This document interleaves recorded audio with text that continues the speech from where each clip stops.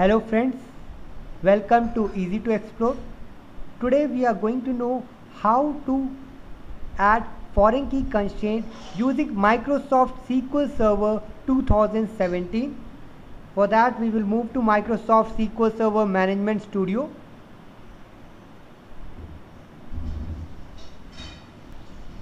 Connect to our database engine and then go to the database option and then table option. And you will find that there are two tables one is stu underscore fees and one is stu underscore primary. So we are make, going to make a primary table. This is a primary table and you will right click on it and go to the design option and you will find there is a column name id with data type integer and column name name with data type var. As we want to make this table primary and this column as a primary column which will be reference to any other table so we are going to mark this column as a primary key. So as you have seen we have already marked this column as a primary key.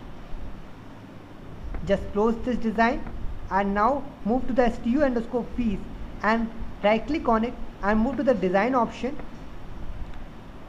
Here you will find a column name FID with data type integer and column name fees with data type integer.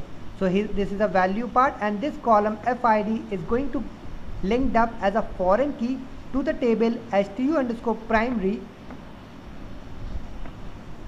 in the column ID so just close this design view and go to the new query option and type the constraint alter table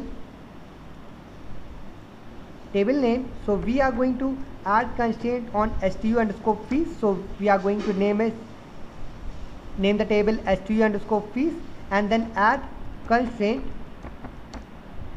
and constraint name. So it must be meaningful. So we are using the initials of the table name and then fk as a foreign key. And then use the keyword foreign key space.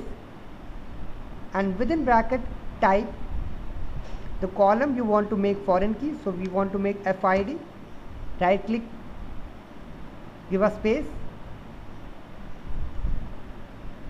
And then type references this refer to this means to that you are going to reference to which table. So we are using the keyword references. And then the table name from which this FID column will be linked up. So that's the table is stu underscore primary within bracket. The column id and then click on execute so here you can see that this command completed successfully. Now go to the object explorer and expand stu underscore fees and go to the keys option. You will find the foreign key constraint. If you want to check that whether the foreign key constraint is applied or not you will click right click on it stu underscore primary and you will click on edit option. And you will see there is a value already with 123 name with Abhi I will add one more value with 124 and name is wiki and just press tab and the data will be saved and just close this option. And now we will go to the stu underscore fees option and click on edit. Now as you can see that we have already added the F123 row in the stu underscore primary that's why this FID is consisting of 123 but if I want to type 126 which is the value we haven't added already in the table stu underscore primary and click on tab key and just again click on tab key. You will find that the data was not committed as there was a foreign key constraint violation. And you will find the foreign key name which you have created. So this data is not going to commit because this data is not available in stu underscore primary. Now just type the data you have already available in stu underscore primary. So we are going to type 124 with value with null value and just press tab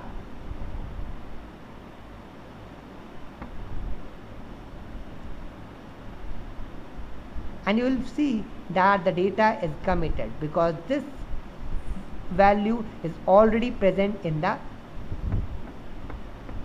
stu underscore primary.